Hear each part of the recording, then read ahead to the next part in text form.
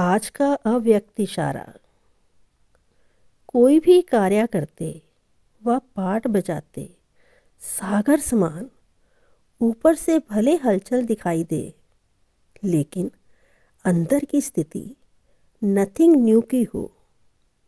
रचयिता और रचना के अंत को जानने वाले, त्रिकालदर्शी, आराम से शांति की स्टेज पर ऐसे स्थित हो जाएँ, जो कोई भी कर्मेंद्रियों की हलचल आंतरिक स्टेज को हिला ना सके।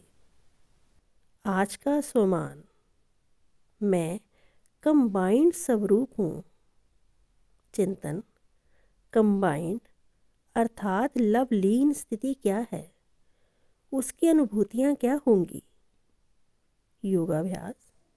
जैसे आत्मा और शरीर कंबाइंड है, ऐसे सदा अनुभव हो कि बाप के साथ मैं आत्मा कंबाइंड हूँ। कंबाइंड बन परमात्म प्यार में लवलीन स्थिति का अनुभव करें।